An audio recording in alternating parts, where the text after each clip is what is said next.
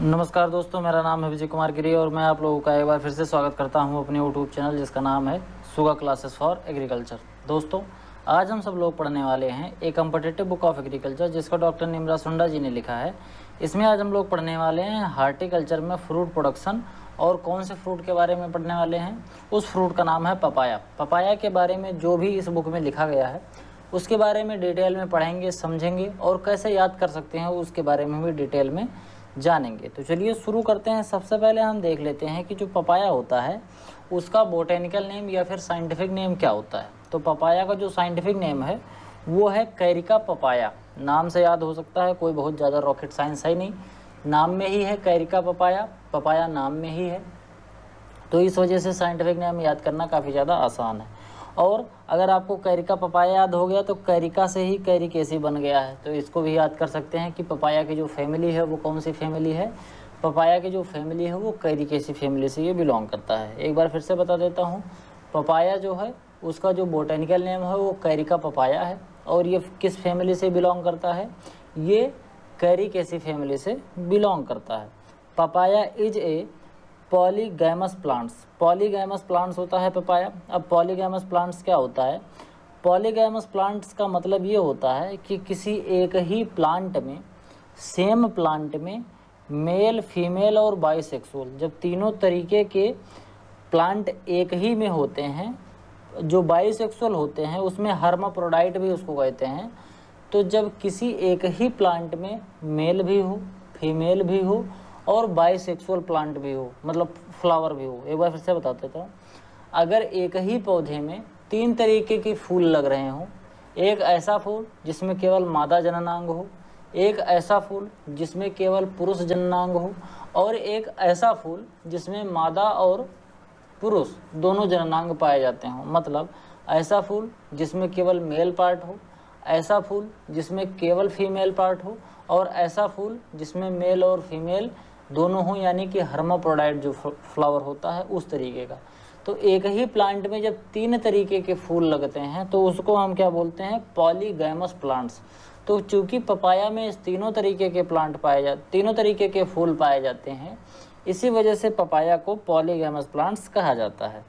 Produce fruits throughout the year papaya की सबसे अच्छी क्वालिटी ये होती है कि पपाया जो होता है, इसके अंदर जो फ्रूटिंग होती है, वो थ्रू आउट द ईयर चलती रहती है। मतलब इसमें जो आपको फल मिलेगा, वो साल भर मिलता रहता है। एक प्रॉपर इंटरवल पर आपको हर पौधे से फ्रूट जो है, वो मिलते रहेंगे। It is a tropical fruit and more sensitive to frost जो पपाया होता है, काफ़ी लग्जेरियस प्लांट्स होता है। कहने का मतलब ये है कि अगर वाटर लॉगिंग की कंडीशन हो गई तो ये सूख जाएगा। अगर इसको पानी की कमी हो गई तो सूख जाएगा। टम्परेचर में ज़्यादा फ्लक्चुएसन होगा तो ख़राब हो जाएगा। इस तरीके से ह्यूमिडिटी बढ़ जाएगी तो पाउडरी मिल्ड्यू लग जाएगा। ह्यूमिडिटी घट जाएगी तो प्रोडक्शन घट जाएगा। ये तमाम चीज़ें होती हैं। इसीलिए पपाया को काफ़ी लग्जीरियस प्लांट्स माना जाता है। मतलब इसके नखड़े बहुत होते हैं। ठीक? एक चीज़ और है पपाया जो है आपका, ये ट्रॉपिकल प्लांट होता है। यानी कि इसको ट्रॉपिकल कंडीशन में आराम से हम ग्रो कर सकते हैं। यूपी वाला रीजन जो कि सब ट्रॉपिकल रीजन में आता है, यहाँ पर भी आराम से हम इसको पपाया को ग्रो कर सकते हैं। एक चीज़ पपाया में और गड़बड़ होती है यह फ्रॉस्ट के प्रति काफ़ी ज़्यादा सेंसिटिव होता है। फ्रॉस्ट का मतलब ये होता है कि जब ठंडी पड़ती है तो ठंडी के समय पर जो पत्तियों पर एक सफ़ेद सी बर्फ़ जम जाती है, बहुत पतली सी माइन्यूट सी परत होती है। अगर इसको आप हाथ लगाएँगे तो तुरंत वहाँ से हट जाएगी। उस वाली की कंडीशन को क्या बोल बोलते हैं फ्रॉस्ट कंडीशन कहने का मतलब ये है कि पपाया का जो पौधा होता है, ये ठंडी को झेल नहीं पाता है। अगर ज़्यादा ठंडी पड़ेगी तो इसकी जो सेल्स होती हैं, वो डैमेज हो जाती हैं। Yellow pigment in papaya papaya के अंदर जो येलो पिगमेंट होता है, उसको क्या कहते हैं? उसको कहते हैं करेक्जेंथिन करेक्जेंथिन नाम का एक पिगमेंट पाया जाता है पपाया में। इसी को बोलते हैं क्या? इसी को करेक्जेंथिन कहा जाता है। ठीक? इसके बाद हम आगे बात करते हैं मिल्क। मिल्क जो कि पपाया के अंदर पाया जाता है, जिसको हम बोलते हैं लैक्टेट ये जब, जैसे पपाया क्या होता है कि पपाया जब हरा रहता है तो उसमें अगर हमको कहीं चोट लग जाए, कभी उसमें क्या करते हैं, कभी कट लग जाए तो पपाया का जो फ्रूट होता है, वहाँ से एक सफ़ेद कलर का दूध निकलने लगता है।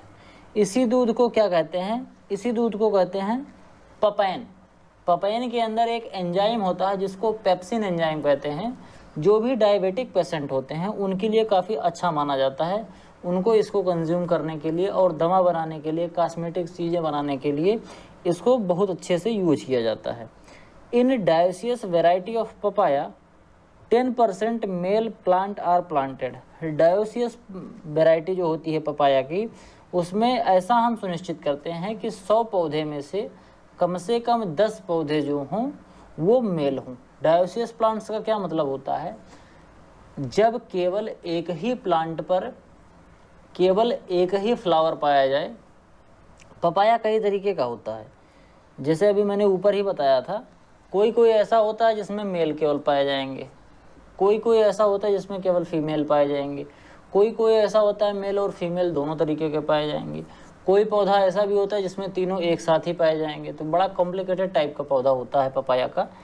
लेकिन जो डायोसियस पौधा होता है डायोसियस मतलब द्विलिंगाश्रयी पौधा। मतलब कि इसके दोनों लिंग को आश्रित होने के लिए दो पौधे की ज़रूरत पड़ेगी। फिर से एक बार समझा देता हूँ। मेल किसी एक पौधे पर रहेगा और फीमेल किसी एक पौधे पर रहेगा। तो अगर डायोसियस प्लांट्स है यानी कि मेल और फीमेल दोनों अलग अलग पौधे पर पाए जाएँगे। एक पौधे पर केवल मेल रहेगा और एक पौधे पर केवल फीमेल पार्ट रहेगा, केवल फीमेल फ्लावर रहेगा। अगर इस तरीके का पौधा है, बोले तो डायोसियस वेराइटी है पपाया की तो उस कंडीशन में हमको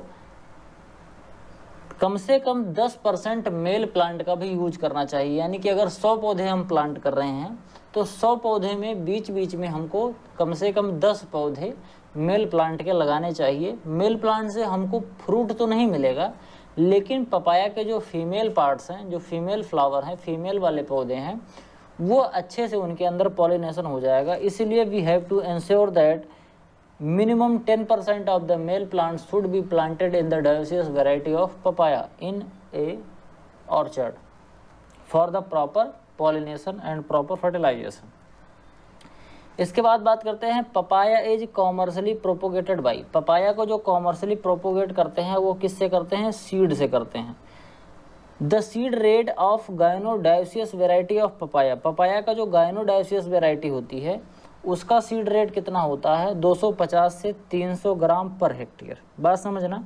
गायनोडायसियस वेराइटी में क्या होता है? पौधा या तो डायसियस होगा, या तो फिर उसके अंदर गायनोसियम ज़्यादा होगा। कहने का मतलब कि ये गायनोडायसियस में डायोसियस पौधा होता है, लेकिन ज़्यादातर इसमें फीमेल ही पौधे निकलते हैं। फीमेल मतलब फीमेल फ्लावर ही निकलते हैं।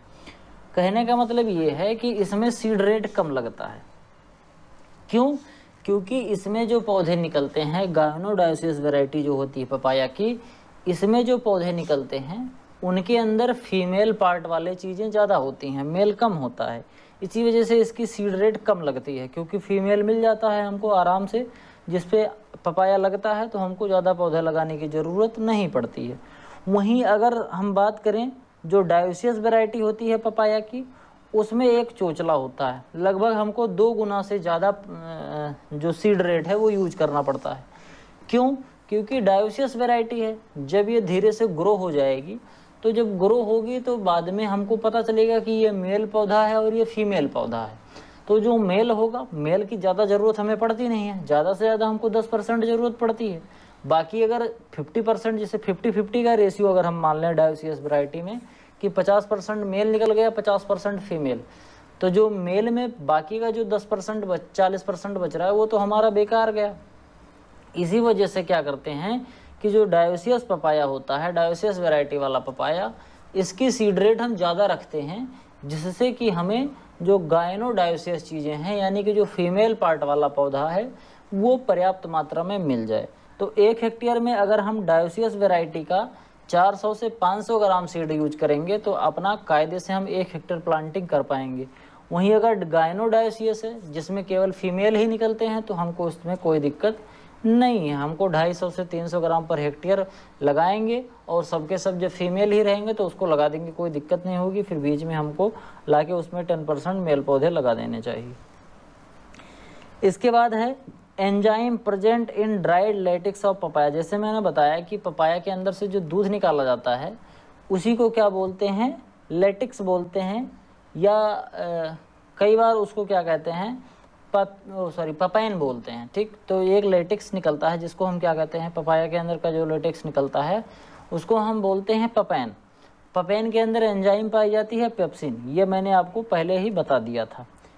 अब कार्पिन जो होता है, ये भी पपाया से ही निकाला जाता है और ये जो डायरेटिक और हार्ट स्टिमुलेंट वाले पेशेंट होते हैं, यानी कि हार्ट डिज़ीज़ से जो परेशान होते हैं और डायरेटिक डिज़ीज़ से जो परेशान होते हैं, उनके लिए जो कार्पिन निकाला जाता है, ये काफ़ी ज़्यादा अच्छा माना जाता है। इसकी ट्रीटमेंट के लिए, इन बीमारियों के ट्रीटमेंट के लिए पपाया का जो कार्पिन होता है, वो काफ़ी ज़्यादा इंपॉर्टेंट रोल प्ले करता है। रिकमेंडेड स्पेसिंग ऑफ़ पूसा नन्हा पूसा नन्हा पपाया की एक बहुत ही अच्छी वेराइटी है। ये काफ़ी डॉर्फ वेराइटी है और ये हाई डेंसिटी प्लांटिंग के लिए काफ़ी ज़्यादा यूज़ करी जाती है।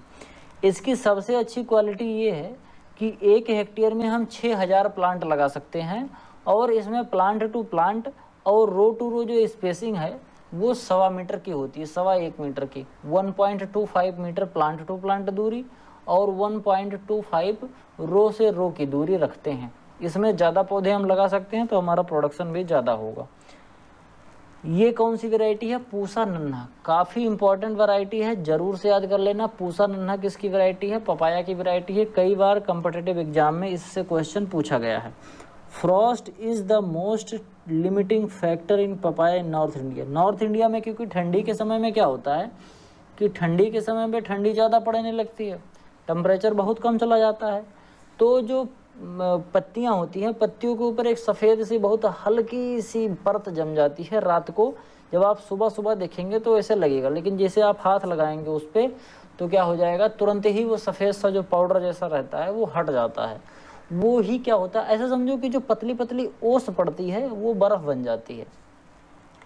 वो काफ़ी ज़्यादा नुकसान करता है पत्तियों को। पत्तियाँ क्या होती हैं धीरे धीरे सूखने लगती हैं।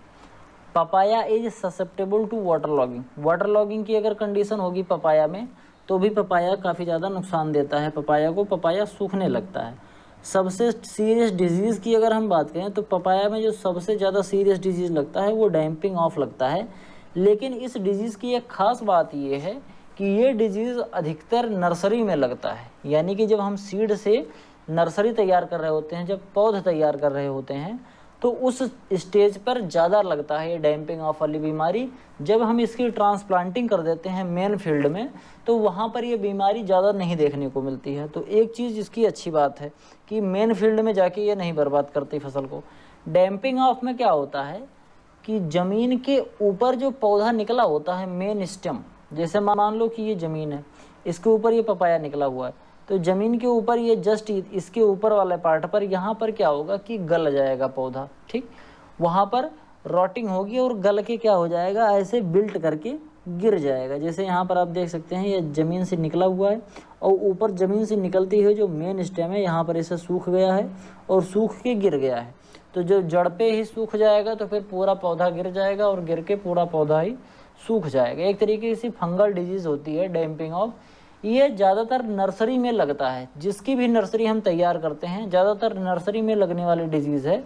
तो पपाया की भी नर्सरी तैयार करी जाती है तो पपाया में भी ये डैम्पिंग ऑफ़ वाली डिज़ीज़ है, वो लगती है। इसके बाद अब हम बात करते हैं गायनोडायसियस वेराइटी ये गायनोडायसियस वेराइटी कौन कौन सी है? पपाया के जो काफ़ी ज़्यादा इंपॉर्टेंट है। पहला है पूसा डेलेसियस उसके बाद है पूसा मजेस्टी ये निमोटोड के प्रति रेजिस्टेंट वैरायटी है। पपाया की जो जड़ होती है, उस पर निमेटोड का प्रकोप भी बहुत ज़्यादा होता है। इसी वजह से अगर कोई ऐसी सॉयल है, जहाँ पर निमेटोड की संख्या ज़्यादा है, या ऐसी संभावना है कि पपाया में निमेटोड लग सकता है तो उस कंडीशन में हमको पूसा मेजेस्टी जो वेराइटी है, उसको ट्रांसप्लांट करना चाहिए, उसकी कल्टीवेशन करनी चाहिए।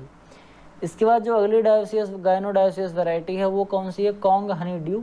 C O three Taiwan जो कि ब्लड रेड कलर का होता है, बिल्कुल लाल लाल कलर का होता है, इसका जो पल्प होता है, वो बिल्कुल लाल लाल सा होता है। सूर्या, ये भी काफ़ी अच्छी वेराइटी है, और सनराइज सोलो इसका जो फ्लैश होता है, वो पिंक कलर का होता है। तो ये जितनी भी वेराइटी मैं आपको बता रहा हूँ, ये बहुत ही ज़्यादा इंपॉर्टेंट है। इसमें आप कम से कम ये तो याद कर लीजिए कि ये किस फ़सल की वेराइटी है। इसके साथ साथ अगर आप ये भी याद कर पाएँ कि ये सभी गाइनोडाइसियस वैरायटी हैं पपाया की तो और भी अच्छी चीज़ है, ठीक?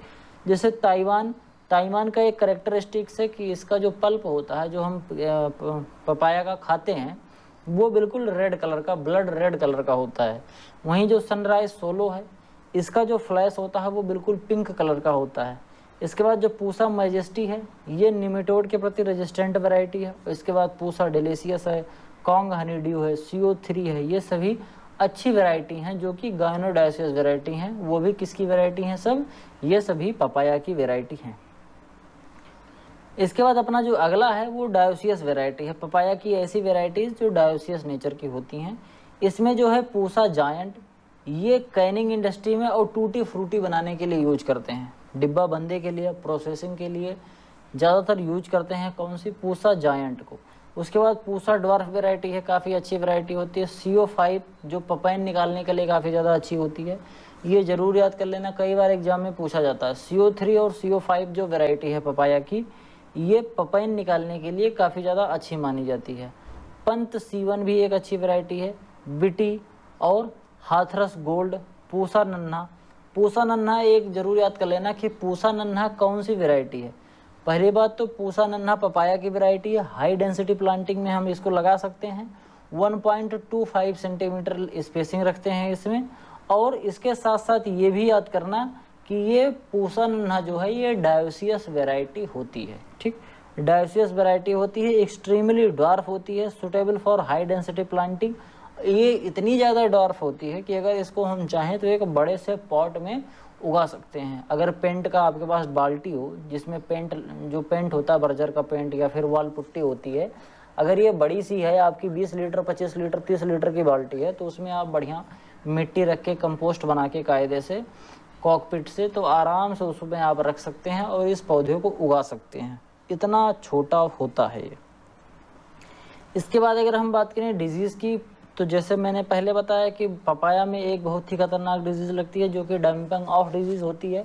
लेकिन इस डिज़ीज़ की एक और खासियत है, या ऐसे बोलो सहूलियत दे देता है कि ये केवल नर्सरी में ही लगता है। जो डैमेज करना होगा, ये नर्सरी में करेगा।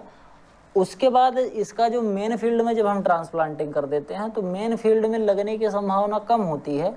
मैं ऐसा तो नहीं कह सकता कि नहीं लगता है, लेकिन बहुत कम ही मात्रा में देखने को मिलता है। ज़्यादातर ये नर्सरी वाले स्टेज में लगता है जब पौधा बहुत ही कोमल होता है। ये जो फंगस से होने वाला एक बीमारी है, जिसको हम स्टेम रॉट भी बोलते हैं, और इसका जो साइंटिफिक नेम है डैम्पिंग ऑफ़ का, वो है पाइथियम अफेनी डरमेटम। क्या है? Pythium aphanidermatum. इसके बाद होता है रिंग स्पॉट। रिंग स्पॉट की इस तरीके से डिज़ीज़ होती है। इसमें क्या होता है? कि पपाया का जो एक, पपाया के ऊपर एक रिंग, ऐसे गोल गोल सा एक स्ट्रक्चर बन जाएगा, वृत्ताकार सा, एक स्पॉट बन जाता है। इस स्पॉट की खास बात क्या होती है कि बिल्कुल बीच में तो ये नॉर्मल रहेगा। जैसे मान लो एक ऐसा स्पॉट बन गया तो बिल्कुल जो बीच वाला पोर्शन होगा, ये तो नॉर्मल रहेगा। लेकिन ये जितना ये पोर्शन बच रहा है, ये पोर्शन ग्रीन रह जाता है या स्पॉट बन जाता है और इसके बाहर वाला पोर्शन नॉर्मल रहता है। जैसे आप जितने भी स्पॉट देख रहे हैं, इसमें अगर आप सब सेंट्रल पोर्शन देखेंगे तो सेंट्रल पोर्शन नॉर्मल है। लेकिन सेंट्रल पोर्शन के बगल बगल में स्पॉट बना है। इसी वजह से इसको रिंग स्पॉट बोलते हैं। ये एक वायरल डिज़ीज़ होती है जो कि वायरस के द्वारा फैलती है। इसमें क्या होता है? अपर ली पपा पपाया इज़ मोल्टेड पपाया की जो सबसे ऊपर की पत्ती होती है, वो मोल्ट हो जाती है। और ये फैलता क्यों है? ये फैलता है एक कीट के द्वारा। उस कीट का नाम है एफिड। इस जिसका साइंटिफिक नेम होता है एफिस गौसिफी। यही एफिस गौसिफी ये आपका जो गोसियम स्पेसीज़ है उसमें भी लगता है क, मतलब कहने का ये है कि कपास में भी जो एफिड लगता है उसका भी साइंटिफिक नेम यही है। ठीक? तो पपाया में जो रिंग स्पॉट लगता है उसका ट्रांसमीटर कौन है? मतलब उसको ट्रांसमिट कौन करता है? आपका एफिड जो है वो ट्रांसमिट करता है।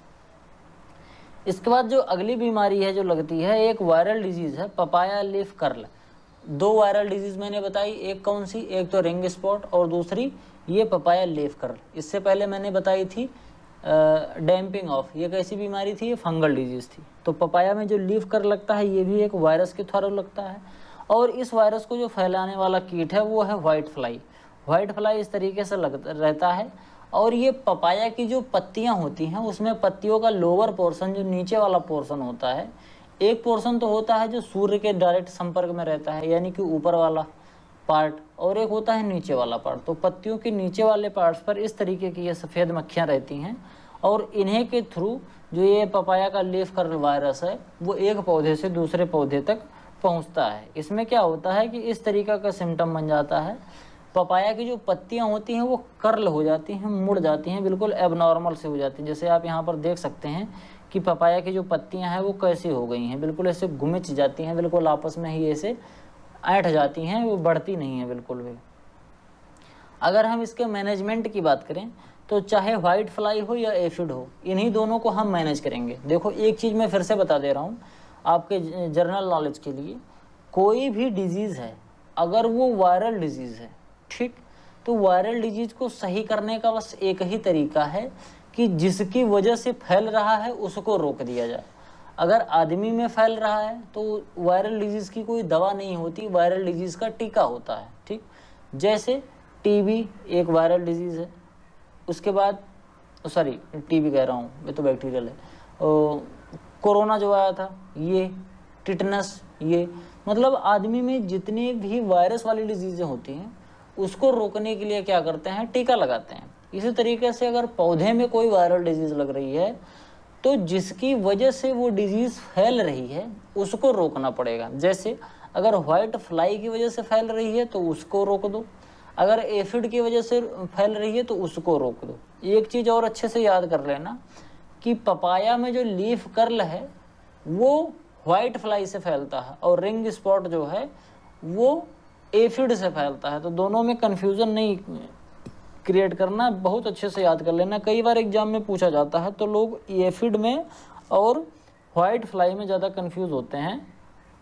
तो जो रिंग स्पॉट होता है, वो एफिड से फैलता है, और जो लीफ कर्ल है, ये किससे फैलता है? ये व्हाइट फ्लाई से फैलता है।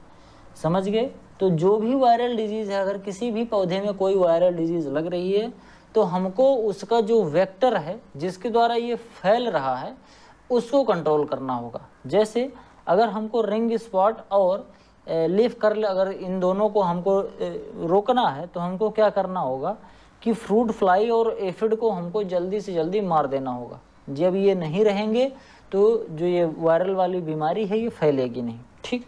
इसको कैसे मैनेज करते हैं? अगर हम कोई सिस्टमेटिक इंसेक्टिसाइड जैसे कि एसीफेट एक एम पर लीटर के हिसाब से, या dye method thirty E C एक एम पर लीटर के हिसाब से, या आईमीडा क्लो क्लोप्राइड इसका, या फिर कोई भी ऐसे सिस्टमेटिक इंसेक्टिसाइड जो कि इनको मार सकते हैं, उसका छिड़काव कर देंगे। उसकी दी गई हुई मात्रा में। हर इंसेक्टिसाइड की अलग अलग मात्रा होती है। तो कोई भी सिस्टमेटिक इंसेक्टिसाइड लेकर अगर हम प्रॉपर छिड़काव कर देंगे एक से दो बार तो ये जो वाइट फ्लाई है और जो एफिड है, ये दोनों ही ख़त्म हो जाएँगे, इनकी पॉपुलेशन ख़त्म हो जाएगी। तो जिससे हमारा जो वायरल डिज़ीज़ जो फैल रही है, ये बच जाएगा। और इसके साथ साथ जो डैम्पिंग ऑफ़ है, उसका भी मैं मैनेजमेंट बता दूँ। तो डैम्पिंग ऑफ़ का मैनेजमेंट करने के लिए सबसे पहले आपको क्या करना होता है? सीड ट्रीटमेंट करिए और सॉयल ट्रीटमेंट करिए। जब फंगस का अटैक नहीं होगा, अगर सीड में भी फंगस नहीं रहेगा और सॉयल के अंदर भी फंगस नहीं रहेगा तो हमारे जो फंगस से होने वाली बीमारी है, यानी डैम्पिंग ऑफ़, ये नहीं होगा। ठीक? तो आज के लिए केवल इतना ही। आपका जो पपाया था, ये कंप्लीट हुआ। आई होप आपको वीडियो पसंद आया होगा। वीडियो पसंद आया हो तो वीडियो को लाइक करें। आपके जो भी सुझाव हैं, कमेंट बॉक्स में ज़रूर लिखें। और एक मदद कर दीजिए। अगर आप चैनल पर पहली बार आए हैं तो चैनल को सब्सक्राइब ज़रूर कर दीजिए। और अपने दोस्तों तक चैनल को ज़रूर शेयर करिए, जिससे वो भी जानकारी ले सकें और मेरा जो सब्सक्राइबर काउंट है, वो बढ़े। जिससे मुझे और मोटिवेशन मिलता है। मैं अच्छी अच्छी वीडियो आप लोगों के लिए बनाता रहूँ। मिलते हैं किसी दूसरी वीडियो में। तब तक के लिए इजाज़त दीजिए। धन्यवाद।